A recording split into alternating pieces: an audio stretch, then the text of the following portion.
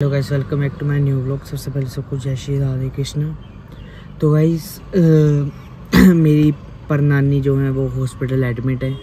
उनका ऑपरेशन हुआ तो वो गिर चुक, गिर गए थे। तो उसी का बस उनके पाइप डली हैं, बस देखने जा रहे हैं। प्रे करना कि वो ठीक हो। मैं उनको देखने जा रहा हूँ, मम्मी ऑलरेडी वहाँ पर है हिमाचल। उनको एक हफ़्ता हो चुका है और मैं आज जा रहा हूँ जो मैं अभी बस मैदपुर में हूँ, हिमाचल में ही पड़ता है क्योंकि पंजाब के बगल में हिमाचल है। बॉर्डर है बिल्कुल, अभी हम हिमाचल क्रॉस कर चुके हैं। अभी हमको जाना है हमीरपुर, हिमाचल प्रदेश में। तो फिर प्रे करना गाइस कि मेरी परनानी ठीक हो, जल्दी ठीक हो जाए। 110 साल की है मेरी नानी, परनानी। तो प्रे करो। तो आपको टाइम लाइट दिखाते हैं। बाय इस, एक चीज़ मैं बताना भूल गया आपको, ये देखो, फिर से बारिश हो रखी है। बारिश तो भाई हटती नहीं है। ए फोकस हो बारिश पे, जल्दी हो जा। हाँ हो गया। देखो बारिश। अब बारिश ही ऐसी है, क्या करेगा इस वहाँ पे गाड़ी आ रही है कोई हाँ एनीवेज तो अभी मैं जा रहा हूँ, जैसा आपको बताया। अभी हम यहाँ पे पता नहीं क्यों रुके हैं। सामान सुन लेंगे तो सामान सुन लेने गया शायद फफड़ जी। फफड़ के साथ आया। हम यार मेरे को कोई गाड़ी सिखा दो भाई, मैं अकेले ट्रिप मारने चल जाऊँगा गाड़ी लेके। बस मेरे को कोई सिखा दो। फिर तो फुल ऐश है, जब मन कर गाड़ी उठा के निकल गए। ऐश क्या भाई मिडिल क्लास लौंडे हैं हम। ऐसे कैसे जा सकते हैं, जब तक घर वालों की परमिशन ना हो। इस गड्डी जाना? इस गड्डी जाना? है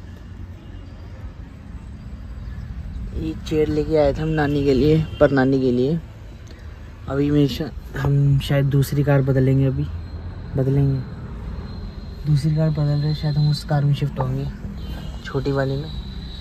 इनोवा को बाय बाय कहने का वक्त आ चुका है।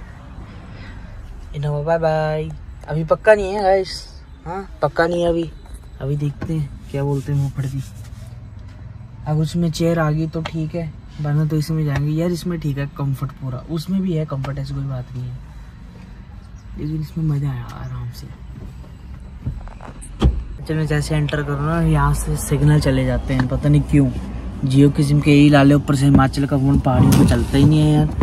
मेरा तो बिल्कुल नहीं चलता, बाकियों का मेरे को नहीं पता चलता कि नहीं चलता इतना मुझे पक्का पता है। इसको यहाँ पे सेटअप कर लूँ।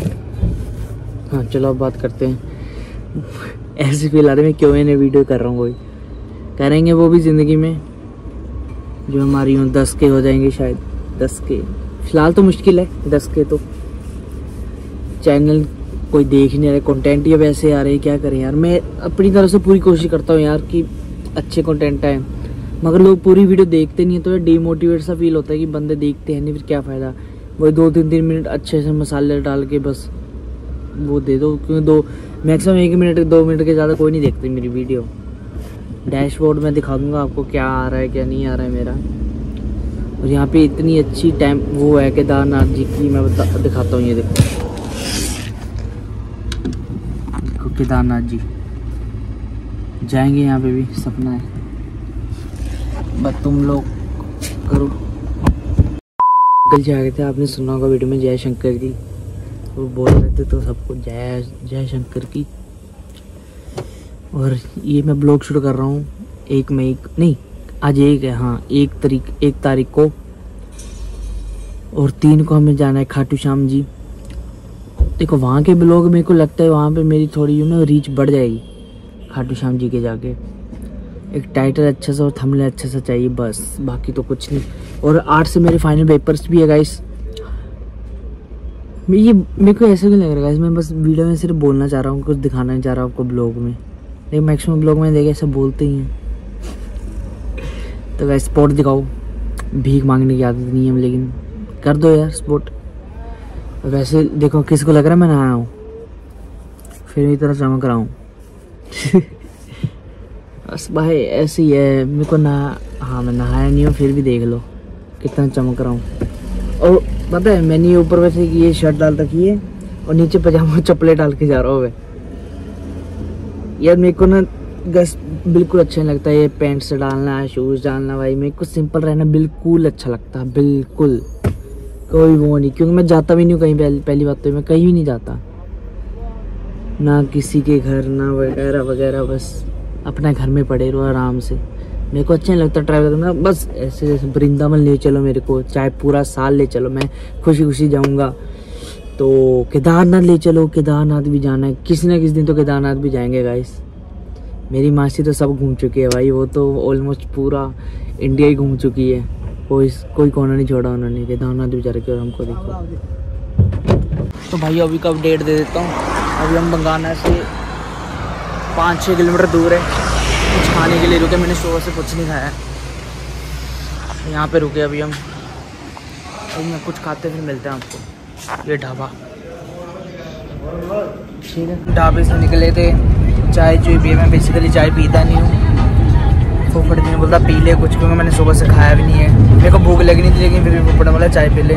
तो चाय पिया अभी हम निकल गए हैं। फिर से। कहाँ पहुँचे फोफड़ जी? कितने ढूमकर कितना दूर है हिमाचल? नहीं सॉरी हमीरपुर। बंगाना पहुँचने वाले? भाई बंगाना पहुँचने वाले हम कितना किलोमीटर रह गया? दो चार किलोमीटर रह गया बंगाना आपको बाकी यहाँ के व्यू दिखाता हूँ कैसे कैसे आ रहे हैं।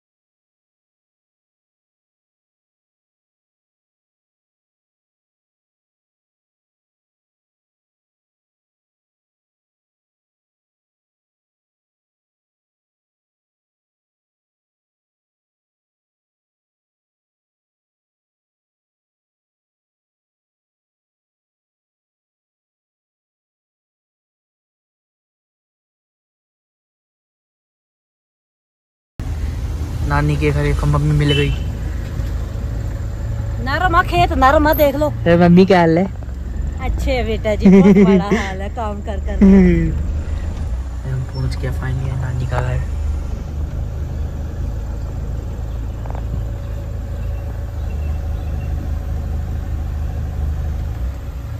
गाइस यहाँ पे बारिश स्टार्ट हो चुकी है।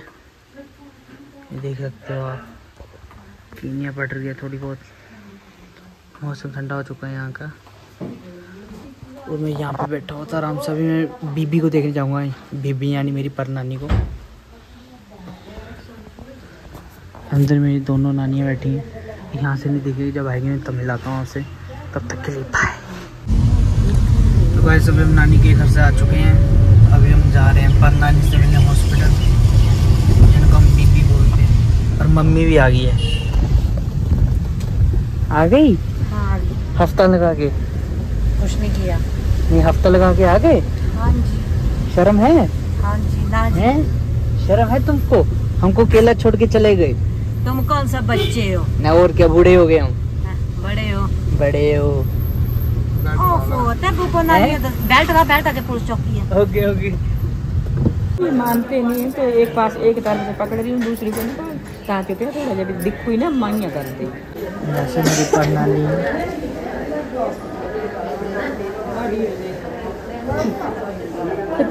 हम अपनी प्रणाली से मिल के आ गए हैं। फ़ोटो फ़ोटो भी आपको देखने को मिल जाएगी। बाकी अभी हम घर के लिए निकल रहे हैं। साढ़े पाँच बजे तक घर पहुँच जाएँगे आराम से। साढ़े पाँच? शायद। अभी तीन बज गए हैं। साढ़े पाँच बजे घर पहुँच जाएँगे। या तो साढ़े पाँच तक। साढ़े पाँच साढ़े पाँच तक क्या बोल रहा हूँ? छः बजे तक मैक्सिमम पहुँच जाएँगे। नशे हो गए हैं। तो अभी हम मिलते हैं घर पे। अब घर पे घर पे मिलेंगे बहुत ट्रैवल हो गया लंबा हो गया। या तो कहीं पे चौक मारेंगे वहाँ पे मिलेंगे सीधा।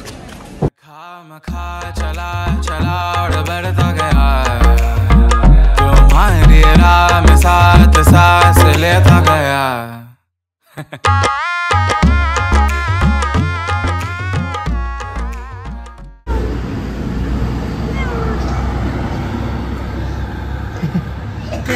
Prende mi así.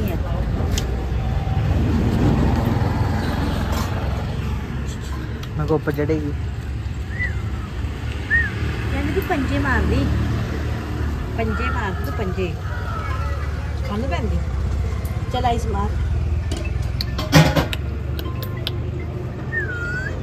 तू कैंट बना रही बोल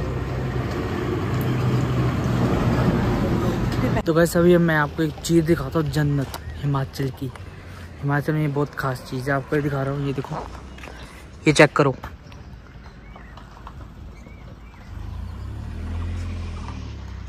देख रहे हो सामने?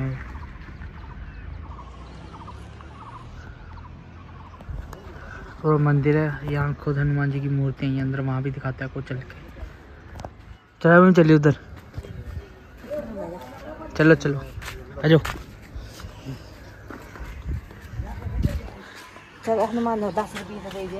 मेरे को है आ जाओ।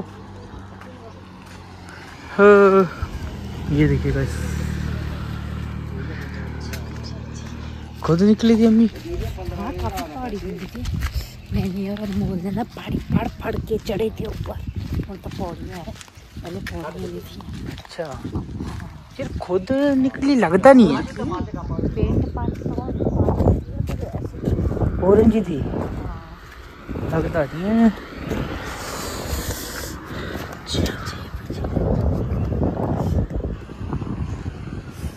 ये सीधा पहाड़ था। अच्छा। सीधा पहाड़।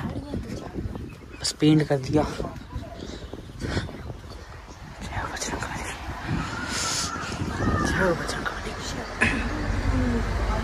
नीचे गणेश जी भी है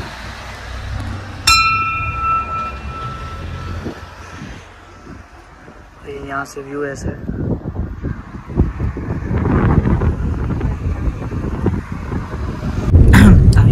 है। इससे पहले मैंने गोलगप्पा और कुलचा खाया था। यानी मैंने और मम्मी ने। अकेला नहीं खा रहा मैं, ठीक है? मम्मी याद नहीं प्रूफ दे रहा हूँ मैं। तो अब घर पे मिलेंगे सर बाय भाइयों हम जो सुबह ढाबे पे रुके थे, वही वापस आ चुके हैं। लेकिन इस बार पाँच बज चुके हैं। छः बजे तक हम कल पहुँच जाएँगे एक घंटे का रास्ता रहा है बस। देखो वही ढाबा है।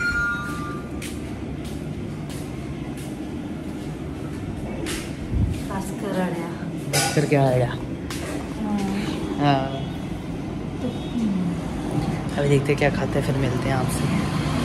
अभी ये देखो यहाँ पे। हाँ? कार चो ना वो चोला बैग। कोई नहीं मैं घर आ चुका हूँ, ठीक है? मैं थोड़ा थक चुका हूँ, इसलिए मैंने अपनी शर्ट खोल दी है तो आउटर दे रहा हूँ मैं। आपको आई नो पसंद आया होगा, नहीं आया होगा ब्लॉग अगर किसी भी पॉइंट पे आपको ये ब्लॉग पसंद आया तो वीडियो को लाइक करना चैनल पे न्यू सब्सक्राइब करना। मिलते हैं आपको ऐसे न्यू ब्लॉग में। तब तक के लिए good bye guys love you